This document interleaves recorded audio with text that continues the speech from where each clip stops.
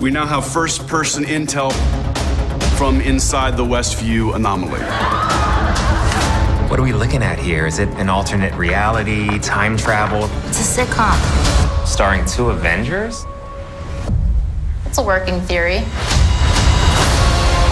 Life moves fast out in the suburbs. I think something's wrong here. Should we just take it from the top?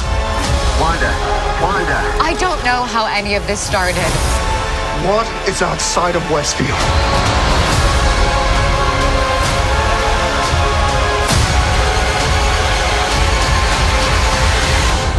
Yeah, I'm not sure what that's about.